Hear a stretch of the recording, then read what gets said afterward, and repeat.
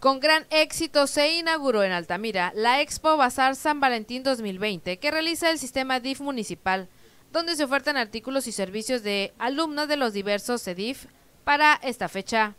Como cada año, la exposición se desarrolla los días 13 y 14 de febrero en la Plaza Constitución, con la participación de poco más de 300 alumnas inscritas en los diferentes cursos, talleres que llevan a cabo en los Centros para el Desarrollo Integral de la Familia y donde ponen de manifiesto sus habilidades para elaborar productos o brindar servicios bajo este esquema de capacitación para el autoempleo. Durante el primer día de actividades, autoridades llevaron a cabo un recorrido por los diferentes stands de manualidades, corte y confección, belleza, cocina y repostería, reiterando la invitación para que acudan en horario de 10 de la mañana a 5 de la tarde y aprovechen los mejores precios en detalles que pueda regalar en este Día del Amor y la Amistad.